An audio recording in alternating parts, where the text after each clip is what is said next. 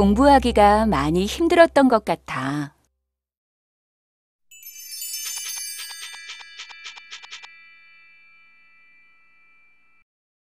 여러분 안녕하세요.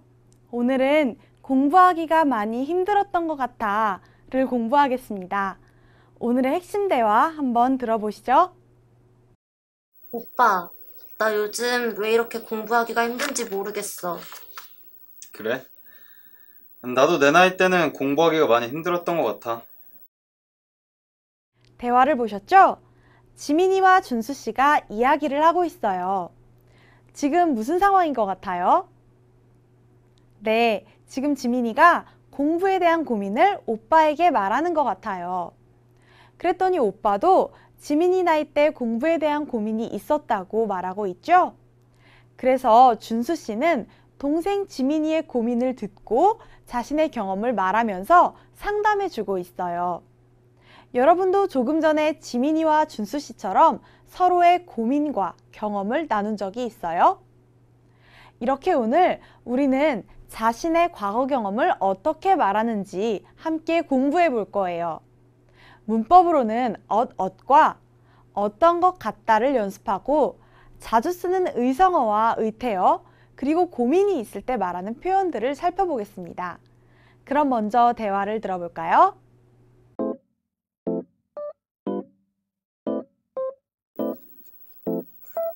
오빠, 나 요즘 왜 이렇게 공부하기가 힘든지 모르겠어.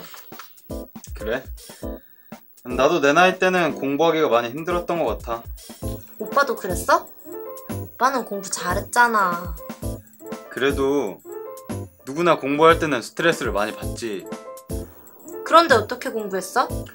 나는 주말이면 영화를 보거나 친구를 만나서 스트레스를 풀었었어.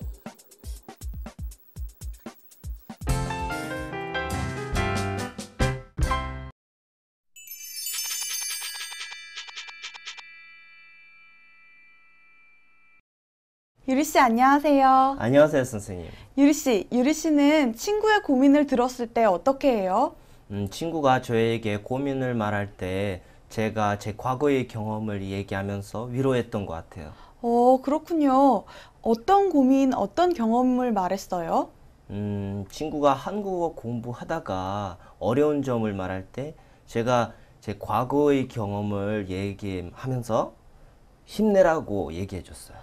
그렇군요. 우리 오늘 대화에서 준수 씨도 자신의 과거 경험을 말하면서 지민이의 고민을 들어주고 있어요. 그럼 우리 오늘은 이렇게 자신의 과거 경험을 어떻게 말하는지에 대해서 공부해 볼 거예요.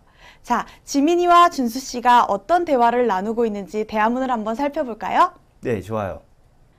네, 지민이가 자신의 고민을 말합니다. 오빠, 나 요즘 왜 이렇게 공부하기가 힘든지 모르겠어. 지민이는 고등학생이에요. 공부가 큰 고민인 것 같아요. 준수 씨가 이야기합니다. 그래, 나도 내 나이 때는 공부하기가 많이 힘들었던 것 같아. 준수 씨도 학생 때 공부가 힘들었나 봐요. 지민이 나이 때에는 공부하는 것이 힘들다고 이야기하고 있네요. 역시 오빠라 그런지 자신의 과거 경험을 말하면서 동생 지민이의 고민을 잘 들어주고 있어요. 지민이가 놀라서 다시 이야기합니다. 오빠도 그랬어? 오빠는 공부 잘했잖아. 준수 씨는 학생 때 공부를 잘했나 봐요. 공부를 잘하던 오빠도 공부 때문에 스트레스를 많이 받았다는 이야기를 듣고 지민이가 궁금해합니다. 준수 씨가 다시 이야기해요. 그래도 누구나 공부할 때는 스트레스를 많이 받지. 자, 여러분, 여기 누구나를 보세요. 누구나는 모든 사람이라는 뜻이에요. 그리고 여기 스트레스를 받다를 보세요. 스트레스는 할 일이 많을 때 받는 거예요. 할 일이 너무 많으면 스트레스를 받아요. 맞아요. 공부를 아주 잘하고 좋아해도 학생 때에는 공부 때문에 스트레스를 받아요. 준수 씨는 모든 사람이 학생 때에는 공부 때문에 스트레스를 받는다는 말을 하면서 지민이를 위로하고 있네요. 지민이가 궁금해하면서 다시 질문을 해요. 그런데 어떻게 공부했어? 오빠의 과거 경험을 더 듣기를 원하고 있어요. 아무래도 경험자의 말을 들으면 답답한 마음이 조금 풀릴 거예요. 준수 씨의 대답을 한번 볼까요? 나는 주말이면 영화를 보거나 친구를 만나서 스트레스를 풀었었어. 자, 여러분. 여기 스트레스를 풀다 보세요. 우리 아까 방금 전에 스트레스를 받다 배웠죠?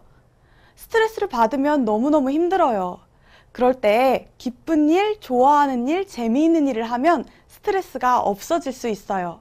그런 것을 스트레스를 풀다라고 이야기해요. 준수 씨는 학생 때 공부 때문에 스트레스를 받으면 이렇게 주말에 영화를 보거나 친구를 만나서 스트레스를 풀었다고 이야기하고 있어요. 오빠의 말을 듣고 지민이도 스트레스를 풀고 다시 힘을 내면 좋겠네요. 자, 그럼 우리 이번에는 한번 역할을 나눠서 대화를 읽어볼까요? 제가 지민이를, 유리 씨가 준수 씨를 맡아주세요. 네. 오빠, 나 요즘 왜 이렇게 공부하기가 힘든지 모르겠어. 그래? 나도 네 나이 때는 공부하기가 많이 힘들었던 것 같아. 오빠도 그랬어? 오빠는 공부 잘했잖아. 그래도 누구나 공부할 때는 스트레스를 많이 받지. 그런데 어떻게 공부했어? 나는 주말이면 영화를 보거나 친구를 만나서 스트레스를 풀었었어. 유리 씨 정말 잘 읽었어요. 감사합니다, 선생님. 어때요, 유리 씨? 이제 과거 경험에 대해서 조금 더 잘 말할 수 있겠죠? 네, 이제 더 자연스럽게 잘 말할 수 있을 것 같아요. 네, 좋아요. 그럼 우리 이제 대화를 다시 한번 들어봅시다.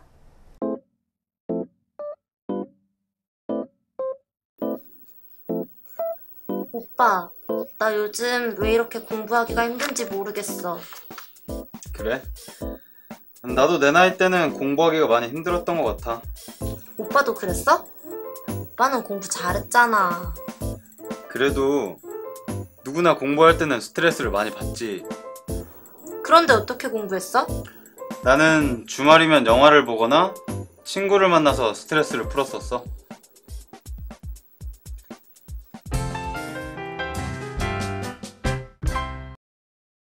유리 씨, 이제 대화 내용을 더 잘 이해했죠?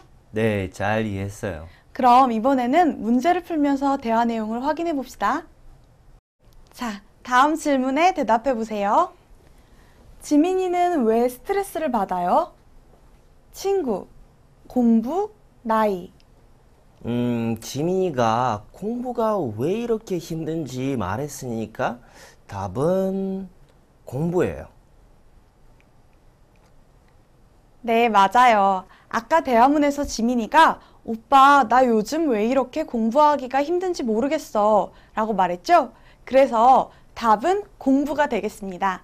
자, 다음 문제를 볼게요. 준수 씨는 어떻게 스트레스를 풀었어요? 책 읽기, 친구 만나기, 컴퓨터 게임하기. 답이 뭘까요? 음, 알 것 같아요. 답은 친구 만나기예요. 네, 맞아요. 준수 씨가 이렇게 말했었죠? 나는 주말이면 영화를 보거나 친구를 만나서 스트레스를 풀었었어. 그래서 답은 친구 만나기. 이게 정답이네요. 그럼 이제 오늘의 문법을 배워봅시다. 오늘 배울 문법은 엇, 엇과 어떤 것 같다입니다. 자, 그럼 우리 첫 번째 문법부터 같이 살펴볼까요? 첫 번째 문법은 얻어입니다. 문장을 같이 볼게요. 나는 주말이면 영화를 보거나 친구를 만나서 스트레스를 풀었었어. 여러분, 준수 씨가 지금 과거의 상황에 대해서 이야기하고 있어요.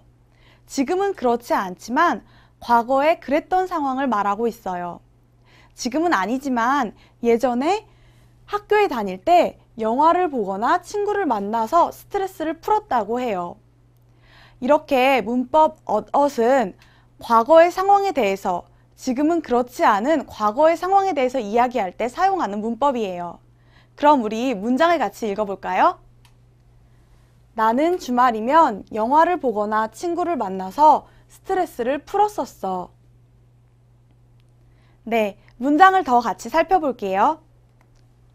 자, 이 두 문장을 보세요. 저는 어렸을 때 키가 작았었어요. 저는 이 학교에 다녔었어요. 여러분, 이렇게 엇엇은 동작 동사나 상태 동사 뒤에 모두 쓸 수 있어요. 그럼 이 두 문장은 무슨 뜻일까요? 첫 번째 문장부터 같이 볼게요. 저는 어렸을 때 키가 작았었어요. 여러분, 저는 지금 키가 커요. 그런데 어렸을 때는 키가 작았어요. 어렸을 때는 키가 작았는데 지금은 작지 않아요. 과거의 상황이 지금과 달라요. 그때 이렇게 말할 수 있어요. 저는 어렸을 때 키가 작았었어요. 다음 문장도 한번 볼게요. 저는 이 학교에 다녔었어요. 여러분, 저는 예전에 이 학교에 다녔어요. 지금은 이 학교에 다니고 있지 않아요. 지금은 그렇지 않지만 과거에 이 학교에 다녔어요. 그때 이렇게 말할 수 있어요. 저는 이 학교에 다녔었어요. 아시겠죠? 이렇게 문법 엇엇은 지금의 상황이 과거의 상황과 다를 때, 과거의 상황이 지금까지 지속되고 있지 않을 때 그것을 말하기 위해 쓰는 표현이에요. 그럼 우리 문장을 한 번씩 같이 읽어볼게요. 저는 어렸을 때 키가 작았었어요. 저는 이 학교에 다녔었어요. 네, 모두 잘하셨어요. 그럼 두 번째 문법을 같이 볼게요. 자, 두 번째 문법은 어떤 것 같다입니다. 문장을 볼게요. 나도 내 나이 때는 공부하기가 많이 힘들었던 것 같아. 여러분, 어떤 것 같다는 동사 뒤에 붙어서 과거의 상황을 짐작하여 말할 때 쓰는 문법이에요. 과거의 상황에 대한 기억이 불확실할 때에도 이 문법을 쓸 수가 있어요. 그럼 우리 문장을 같이 한번 읽어볼까요? 나도 내 나이 때는 공부하기가 많이 힘들었던 것 같아. 네, 문장을 더 보면서 같이 공부해봐요. 자, 이 두 문장을 볼게요. 예전에는 야채를 잘 안 먹었던 것 같아요. 작년 여름에는 비가 많이 왔던 것 같아요. 자, 여러분, 이렇게 어떤 것 같아요는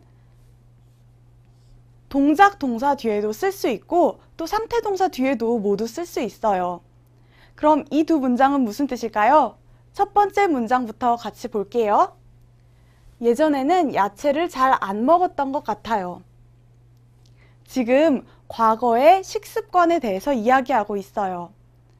지금 기억이 잘 나지는 않지만 예전에 기, 야채를 잘 안 먹었던 것 같아요. 기억이 정확하지는 않아요. 하지만 그냥 지금 생각할 때 야채를 잘 먹었는지 안 먹었는지 정확히는 모르지만 잘 안 먹었던 것 같아요. 다음 문장을 볼게요. 작년 여름에는 비가 많이 왔던 것 같아요. 지금 정확하게 기억이 나지는 않아요. 작년 여름에 비가 많이 왔는지 많이 오지 않았는지 정확히 알 수 없어요. 그렇지만 그냥 생각할 때, 그냥 짐작하여 말할 때 작년 여름에 비가 많이 온 것 같아요. 그때 이렇게 말할 수 있겠죠? 작년 여름에는 비가 많이 왔던 것 같아요. 네, 문장을 같이 한 번씩 읽어볼게요. 예전에는 야채를 잘 안 먹었던 것 같아요. 작년 여름에는 비가 많이 왔던 것 같아요. 네, 모두 잘하셨어요.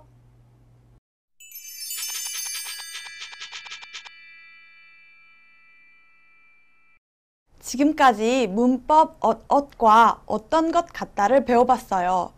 그럼 우리 지금까지 배운 내용으로 말하기 연습을 한번 해보죠. 네, 좋아요. 자, 그러면 선생님이 질문할 테니까 유리 씨가 대답해 보세요. 첫 번째 말하기 연습입니다. 문법 엇 엇을 사용해서 연습해 봅니다. 자, 유리 씨. 유리 씨가 준수 씨가 되었다고 생각하고 대답해 보세요.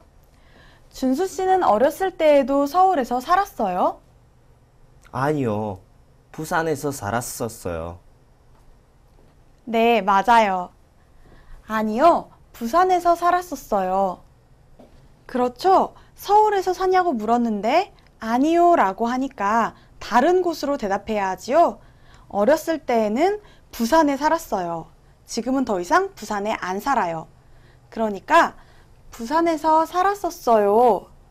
이렇게 말할 수 있겠네요. 네, 두 번째 말하기 연습입니다. 유리 씨, 이번엔 유리 씨가 잠깐만 아빠가 되어 주세요. 저는 엄마에 대해서 질문하는 유리 씨의 딸을 할게요.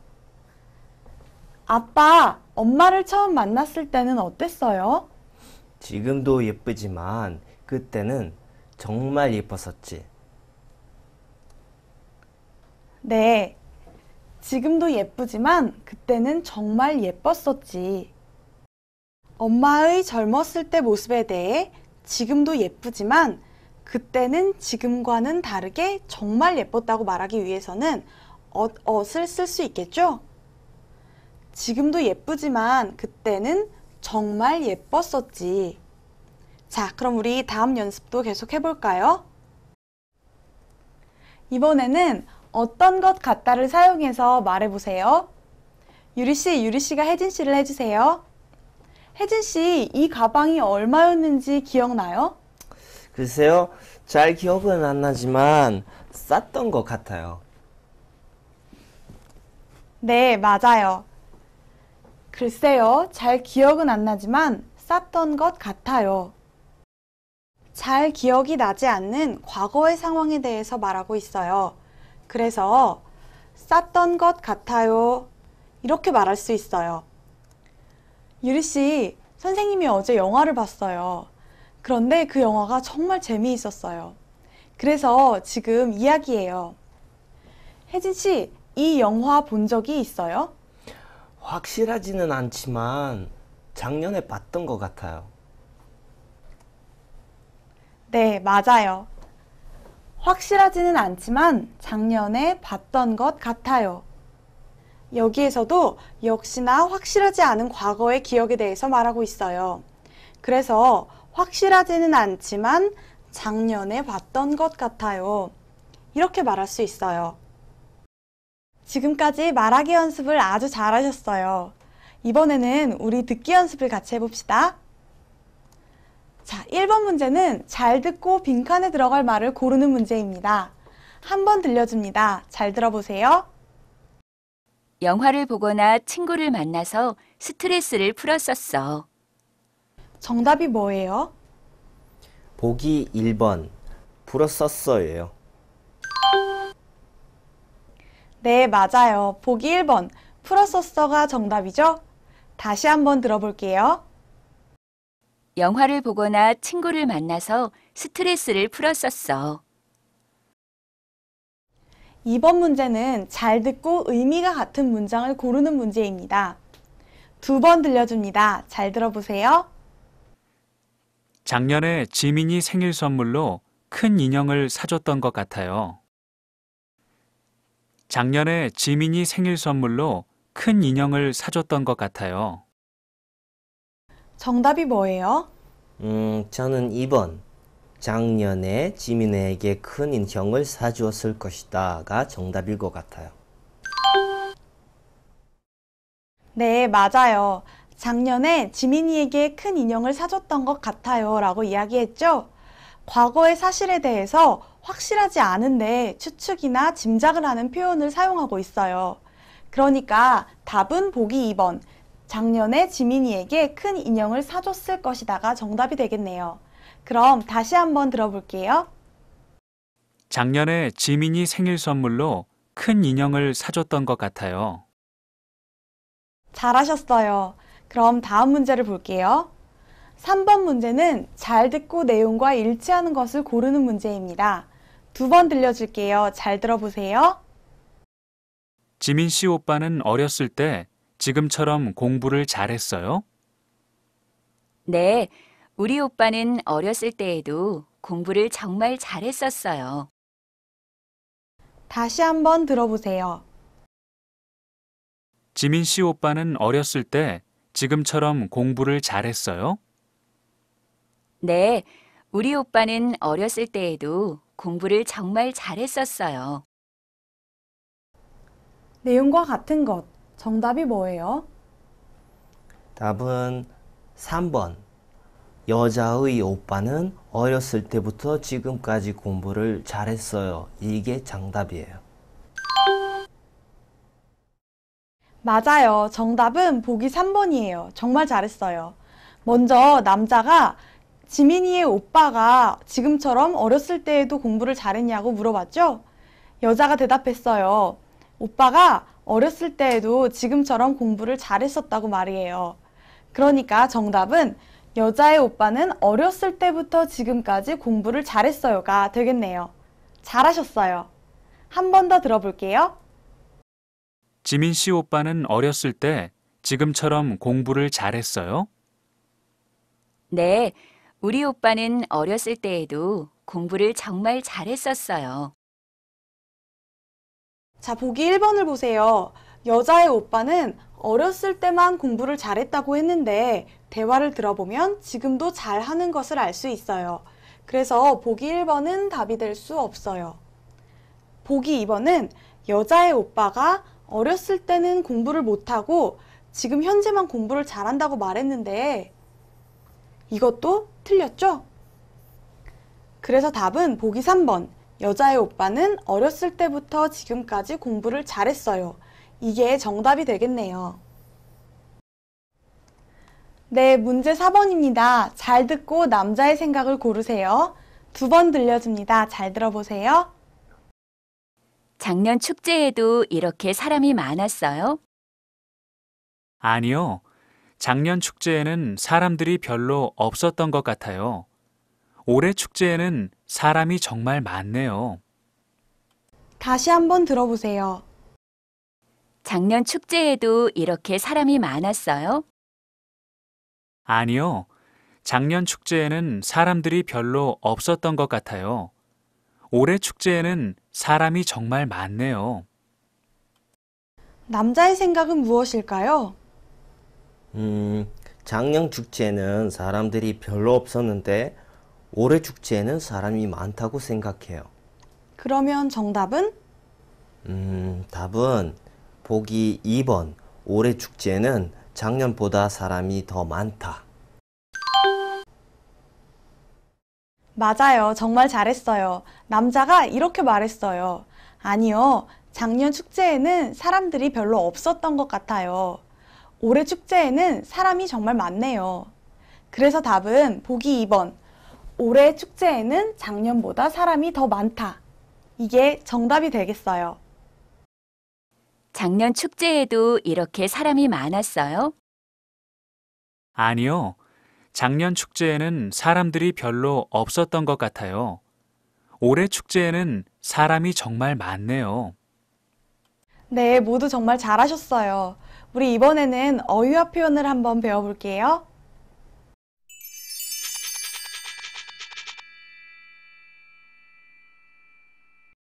오늘은 자주 쓰는 의성어와 의태어를 배워볼 거예요.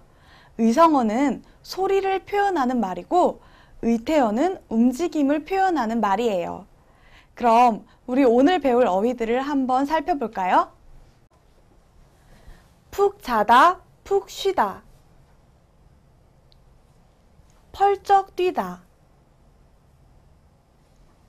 엉엉 울다. 하하 웃다. 쿨쿨 자다. 홀딱 반하다. 돈을 펑펑 쓰다. 꽃이 활짝 피다. 네, 잘하셨어요. 그럼 우리 어휘들을 하나씩 자세히 살펴봐요. 푹 자다, 푹 쉬다. 아주 깊이, 아주 잘 자는 모습을 표현해요. 어제 푹 쉬어서 오늘은 몸 상태가 좋아요. 자, 이게 무슨 뜻이에요? 몸 상태가 안 좋은데 아주 잘 쉬거나 아주 잘 자면 어떻게 되죠? 네, 몸 상태가 좋아져요. 이렇게 푹은 아주 아주 잘 쉬는 모양, 아주 아주 잘 자는 모양을 표현할 때 쓰는 말이에요. 그때 이렇게 푹 자다, 푹 쉬다 이렇게 말할 수 있어요. 어제 푹 쉬어서 오늘은 몸 상태가 좋아요. 펄쩍 뛰다. 높이 점프하는 모양을 나타내는 말이에요. 제가 가까이 가자 고양이가 펄쩍 뛰어 의자 위로 올라갔어요. 자, 여러분. 고양이는 점프를 아주 잘하는 것 같아요. 자신의 키보다 더 높이 뛸 수 있어요. 그렇게 높이 뛰는 모습을 펄쩍이라고 말할 수 있어요. 펄쩍 뛰다, 펄쩍 날다, 펄쩍 오르다 이렇게 표현해요. 제가 가까이 가자 고양이가 펄쩍 뛰어 의자 위로 올라갔어요. 엉엉 울다. 우는 소리나 모양을 나타내기 위해 쓰는 말이에요. 혜진 씨는 슬픈 영화를 보면서 엉엉 울었어요. 여러분, 슬픈 영화를 보면 가끔씩 눈물이 나요. 그런데 너무 슬픈 영화를 보면 울음소리가 크게 나요. 크게 울 때가 있어요. 그런 소리나 모양을 엉엉이라고 표현해요. 그때 이렇게 말할 수 있겠죠? 슬픈 영화를 보면서 엉엉 울었어요. 혜진 씨는 슬픈 영화를 보면서 엉엉 울었어요. 하하 웃다. 웃는 소리나 모양을 표현해요. 아버지는 재미있는 이야기를 들으시면서 하하 웃으셨어요. 여러분, 재미있는 이야기를 들으면 기분이 좋아져요. 아버지가 재미있는 이야기를 들으시고 기분이 좋아서 아주 큰 소리로 웃고 있어요. 이렇게 입을 크게 벌리고 큰 소리로 웃는 소리나 모양을 하하라고 해요. 아주 크게 웃는 웃음을 표현하는 말이에요. 아버지는 재미있는 이야기를 들으시면서 하하 웃으셨어요. 쿨쿨 자다. 잠을 깊이 자는 모습이나 깊이 잠들어서 내는 소리를 나타낼 때 쓰는 말이에요. 아기가 쿨쿨 자고 있으니까 조용히 해주세요. 아기가 아주 깊이 잠들었나 봐요. 깊이 잠들어서 잠을 잘 때 숨을 들이쉬고 들이마시면서 이렇게 쿨쿨 소리가 나기도 해요. 그때 이렇게 쿨쿨이라는 말을 써서 쿨쿨 자다 이렇게 말할 수 있어요. 아기가 쿨쿨 자고 있으니까 조용히 해주세요. 홀딱 반하다. 어떤 사람에게 좋은 감정이 생겨서 반하는 것을 말해요. 유진 씨를 보고 홀딱 반해서 좋아하게 되었어요. 여러분, 정말 멋있는 사람, 정말 예쁜 사람을 만났어요. 이상형이에요. 그때 첫눈에 보고 좋아하는 감정이 생겨요. 이렇게 정말 반하는 것을 홀딱이라고 해요. 선생님은 조인성을 보고 홀딱 반했어요. 유진 씨를 보고 홀딱 반해서 좋아하게 되었어요. 돈을 펑펑 쓰다. 돈이나 물을 아끼지 않고 많이 사용해요. 생각 없이 돈을 펑펑 써서 지금 돈이 없어요. 여러분, 고민하지 않고 돈을 쓰면 어떻게 되죠? 네, 사고 싶은 걸 다 사면 지금 돈이 별로 없을 거예요. 이렇게 고민 없이 생각 없이 막 쓰는 것을 펑펑이라고 표현해요. 생각 없이 돈을 펑펑 써서 지금 돈이 없어요. 꽃이 활짝 피다. 꽃이 아주 크게 잘 피었어요. 요즘 꽃이 활짝 피어서 경치가 좋아요. 봄이 되면 꽃이 많이 피죠? 꽃이 조금만 핀 게 아니라 아주 크게, 필 수 있는 한 가장 크게 많이 피어요. 이런 것을 보고 활짝이라고 말할 수 있어요. 요즘 꽃이 활짝 피어서 경치가 좋아요. 이제 앞에서 배운 어휘로 간단한 문제를 풀면서 한번 정리해 볼까요? 자, 빈칸에 알맞은 말을 보기에서 고르세요. 혜진 씨가 예뻐서 어떻게 반했어요? 음, 홀딱 반했어요. 네, 맞아요. 반하다 라는 말과 어울리는 말은 홀딱이지요? 두 번째 문제예요. 봄이 되니까 꽃이 어떻게 피어서 경치가 아름답네요. 음, 활짝이요. 꽃이 활짝 피어요. 네, 맞아요. 활짝은 피다와 같이 써서 꽃이 크게 피는 모습을 말하죠. 다음 문제를 같이 봅시다. 요즘 잠이 부족했는데 주말에 어떻게 자고 나니까 몸이 좋아졌다고 해요. 푹 자고 나니까 몸이 좋아졌어요. 네, 맞아요. 푹 자다는 깊이 잘 자는 것을 표현하는 말이지요. 푹 자고 나면 기분도 좋고 몸 상태가 좋아져요. 이제 마지막 문제예요. 지민이가 요즘 옷이랑 가방 산다고 돈을 어떻게 쓰고 다녀서 걱정이에요. 펑펑 쓰고 다녀서 걱정이에요. 네, 맞아요. 돈을 막 쓰고 다닐 때 돈을 펑펑 쓰다라고 말하죠. 여러분 모두 잘하셨어요. 이번에는 고민 말하기 표현들을 계속해서 배워봅시다. 오늘은 어떡하죠? 어떻게 해야 할지 모르겠어요. 계속 신경이 쓰여요. 이 세 가지 표현들을 배워볼 거예요. 그럼 오늘 배울 표현들을 잘 듣고 한 번씩 따라 읽어보세요.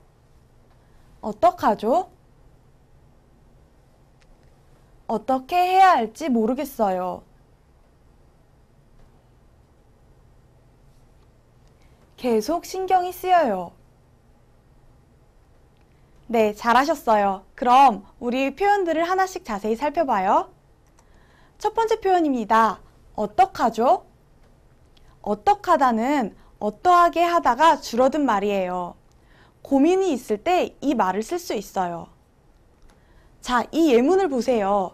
숙제는 했니? 라고 질문을 하니까 어려워서 못하겠어요 라고 이야기하고 있어요. 숙제가 너무 어려워서 못하겠다고 이야기하고 있어요. 이게 고민인가 봐요. 그때 이렇게 어떡하죠? 라고 이야기할 수 있어요. 선생님, 사실 저도 한국어 공부가 어려워서 고민이에요. 어떡하죠, 선생님? 유리 씨는 한국어를 잘하는데요, 뭘. 집에서 바른 한국어 동영상을 보면서 책으로 열심히 공부해 보세요. 그럼 더 잘할 수 있을 거예요. 자, 같이 읽어볼까요? 숙제는 했니? 아니요, 어려워서 못하겠어요. 어떡하죠? 잘하셨어요. 이제 다음 표현을 살펴봐요. 어떻게 해야 할지 모르겠어요. 아르바이트를 하려고 하는데 자리가 없으면 또 앞으로 무엇을 해야 하는지 고민을 해야 해요. 이렇게 미래의 일에 대해서 고민이 있을 때 이 표현을 쓸 수 있어요. 어떻게 해야 할지 모르겠어요. 유리 씨, 유리 씨는 방학 때 뭐 할 거예요? 아, 사실 저는 고향에 돌아가려고 했는데 비행기 표가 없대요. 그래서 어떻게 해야 할지 모르겠어요. 아, 그렇군요. 그럼 방학 동안 한국 여행을 해보는 게 어때요? 아, 그것도 좋은 방법이네요. 고맙습니다. 네, 그럼 우리 한번 예문을 같이 읽어봐요. 방학 동안 뭐 할 거예요? 글쎄요, 아르바이트를 하려고 했는데 자리가 없대요. 어떻게 해야 할지 모르겠어요. 자, 다음 표현을 살펴봅시다. 계속 신경이 쓰여요. 어떤 일이 계속 마음에 남아 있어서 고민이 될 때 이 표현을 쓸 수 있어요. 시험 점수가 안 좋으면 왜 시험 점수가 안 좋은지, 어떻게 공부를 하는 게 좋을지 계속해서 고민을 하게 돼요. 그때 이렇게 말할 수 있을 거예요. 아, 네, 그렇군요. 저도 시험 점수 때문에 고민이 돼서 계속 신경이 쓰인 적이 많아요. 그렇군요. 그럼 우리 같이 한번 예문을 읽어볼게요. 표정이 왜 그래요? 무슨 고민 있어요? 시험 점수가 안 좋아서 계속 신경이 쓰여요. 유리 씨, 오늘 정말 잘했어요. 오늘 수업은 어땠어요? 아, 오늘 수업은 정말 도움이 많이 될 것 같아요. 특히 울다, 웃다, 돈을 쓰다 같은 모습을 다양한 어휘로 표현할 수 있다는 게 재미있는 것 같아요. 그렇죠. 한국어에는 이렇게 소리와 모양을 표현하는 말인 의성어와 의태어가 아주 다양해요. 네, 벨라루스어에 없는 것도 있고 똑같은 상황을 다른 느낌으로 표현하는 것들도 많아요. 오, 그렇군요. 그거 정말 흥미로운데요? 그렇게 서로 비교하면서 한국어를 공부하면 더 재밌을 것 같아요. 그럼 우리 다음 시간에도 같이 재미있게 공부해봐요.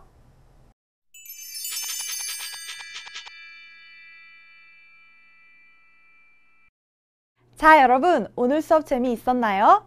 오늘은 문법 엇엇과 어떤 것 같다를 사용해서 경험 말하기에 관한 표현들을 공부했어요. 그리고 자주 쓰는 의성어, 의태어와 고민 말할 때 쓰는 표현들도 같이 공부했어요. 이제 여러분은 한국어로 좀 더 자연스럽고 쉽게 자신의 경험을 말할 수 있을 거예요. 자, 그럼 우리 다음 시간에 또 만나요.